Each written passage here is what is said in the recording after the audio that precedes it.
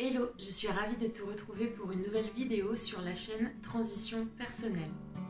Transition personnelle, minimalisme, déconstruction et bonheur simple.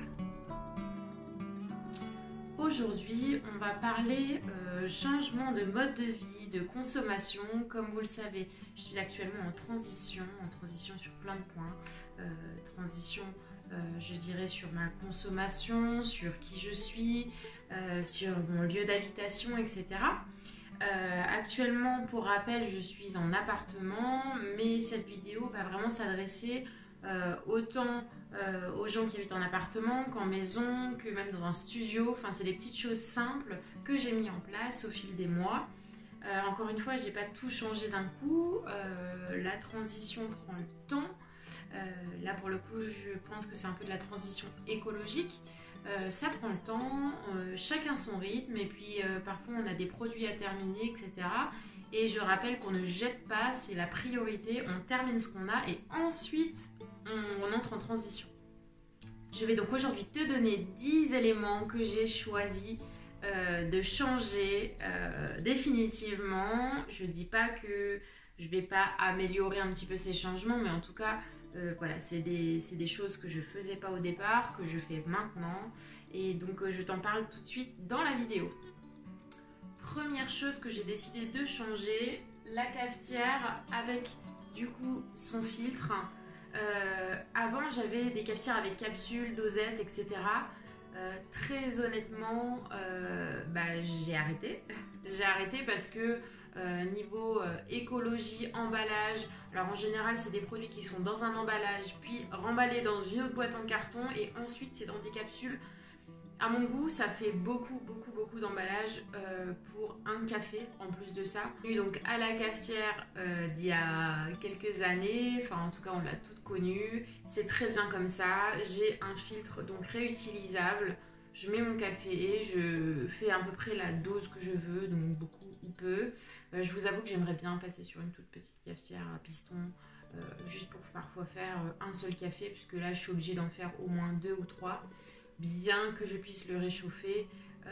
voilà, c'est en tout cas un changement que j'ai mis en place. je trouve ça chouette. Pareil, le marc de café est réutilisable. Petite note à moi-même, le café en lui-même est euh, très polluant dans le sens où bah, on le fait venir de très loin, etc. Le mode de culture, la façon dont c'est produit, etc. Très souvent, euh, c'est polluant. En attendant, on déculpabilise euh, cette vidéo. Elle n'a pas pour but de faire culpabiliser ou quoi que ce soit, ni me faire culpabiliser. je pense que chaque chose, encore une fois, doit être fait en son temps. Euh, pas la peine de se mettre la pression euh, pour tout changer d'un coup, etc. C'est des petits éléments qui sont petit à petit et euh, au fil des années, on s'améliore et on change notre mode de consommation. Deuxième élément, le papier essuie-tout. Je bah, j'ai plus rien pour le matérialiser, mais on va pas se le cacher. Le papier essuie-tout, ça sert à rien. À rien. Non, clairement, ça sert à rien. vous prenez une feuille, vous essuyez un truc, vous le jetez. Euh, enfin, je, je comprends pas le, concept. Ça, c'est la première, première chose que j'ai changé euh, lorsque euh, j'ai enclenché la démarche. Très honnêtement, je, me rendais compte en fait que j'en prenais, je prenais feuille par feuille et que je faisais que essuyer deux trois trucs ou m'essuyer deux trois fois la bouche, mes mains et je le jetais. Et finalement, en fait, bah, c'est des rouleaux et des rouleaux qu'on passe dans l'année. Euh, alors que vous pouvez très bien en alternative prendre un torchon, euh, des petits essuie-mains, euh, peu importe, des carrés de tissu pour vous essuyer, les laver et les réutiliser. Donc c'est vrai que ça c'est le premier chose, c'est hyper simple à faire, c'est la première chose que j'ai changé et j'en suis très contente. Troisième point, l'éponge. Alors moi j'ai changé mon habitude aussi, j'achetais des éponges souvent, je jetais souvent des éponges. Euh, puisqu'elles étaient sales. Euh, et en fait, je suis passée aux éponges Tawashi comme ça. Euh, c'est des éponges que vous faites à partir de tissus recyclés, etc. Vous pouvez très bien les faire vous-même également. alors il faut savoir que l'éponge, on va me dire, mais pourquoi l'éponge L'éponge, alors déjà de une, parce que si c'est des éponges végétales, donc soit c'est des éponges qui viennent du fond de la mer, auquel cas vous abîmez un écosystème, autre point, sinon c'est fait à partir de copeaux de bois. donc encore une fois, on abîme l'écosystème, bien qu'il y ait des cultures peut-être, etc. moi pour moi, ça coule pas de source. on peut faire beaucoup plus simple que ça. Donc voilà, on, oublie en tout cas ces alternatives végétales, même si parfois on a tendance à nous les vendre même en magasin bio, etc. je suis vraiment pas pour je pense qu'il y a moyen de faire autrement. Et l'autre point, c'est les éponges euh, bah, à base de pétrole, les, synthétiques.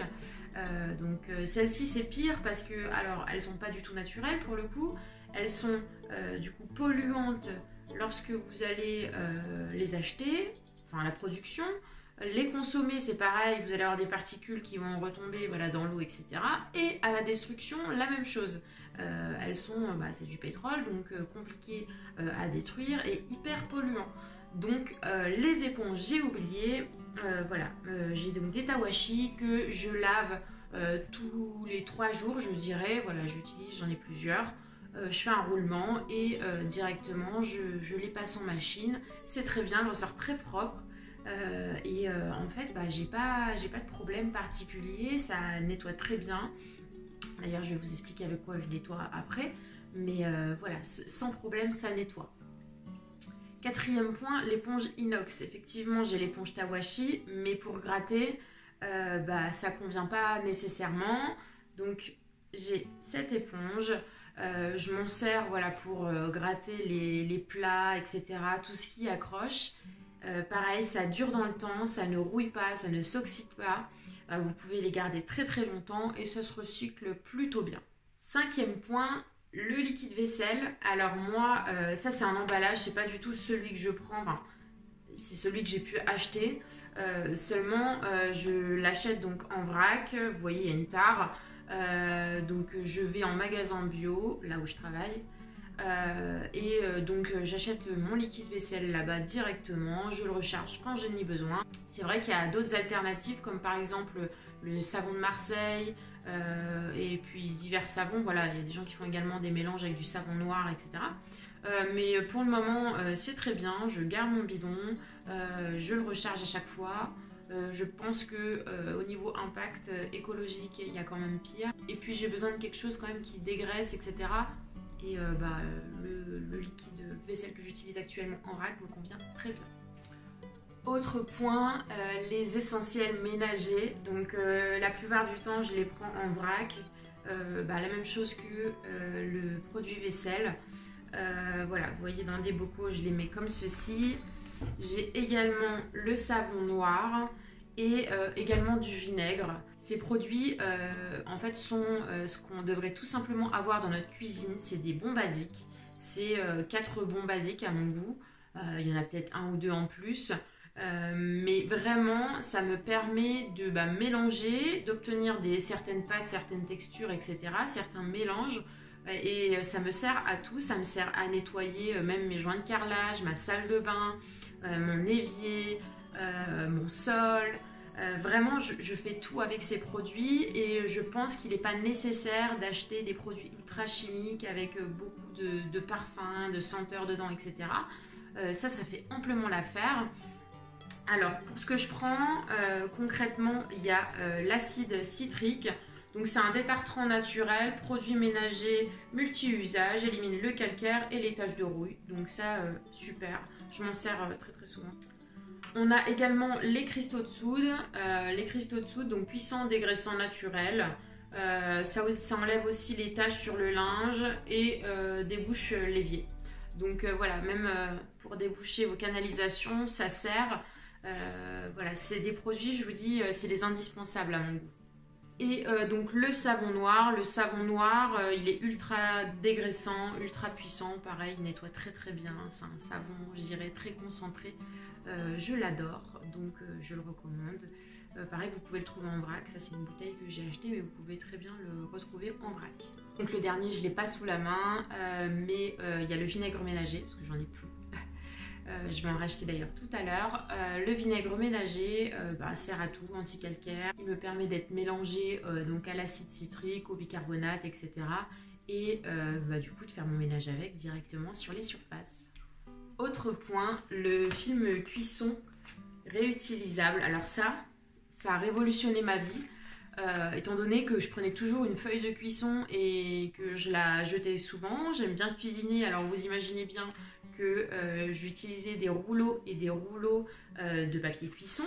Alors ce papier-là, en fait, tout simplement, vous avez une feuille en général, c'est de 2 mètres à peu près. En fait, ça va varier. Vous pouvez les acheter sur les grands formats, sur les plus petits formats. vous pouvez aussi les découper au format de votre planche. Et en fait, ils sont lavables, tout simplement. Et euh, bah, c'est génial, je trouve, ça, je trouve ça cool, c'est très très bête, c'est un petit geste, mais vraiment, euh, je trouve ça super. En utilisant du coup ce papier cuisson, vous faites des économies et en plus de ça, bah, vous militez euh, pour l'écologie et pour la planète. Encore un point en ce qui concerne le film alimentaire, les papiers alu, etc. moi, donc je n'utilise plus de film alimentaire, mais des wraps comme ça, vous voyez, ça tient bien en forme, entre guillemets, ça a le même principe que le papier alu et le film alimentaire. Euh, seulement, ben voilà, c'est des choses que déjà vous pouvez faire, c'est avec de la cire, euh, et puis c'est réutilisable surtout. Donc euh, vous pouvez le mettre directement sur tous vos plats. Il existe aussi des charlottes comme ça à mettre sur vos saladiers pour les mettre au frigo.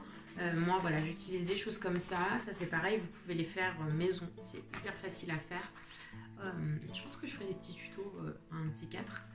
Euh, et donc voilà, je reviendrai pas sur le reste parce que c'est les films alimentaires, c'est des choses qu'on prend, qu'on jette, c'est de l'usage unique en fait, et ça, ça me dérange. Donc foncez là-dessus.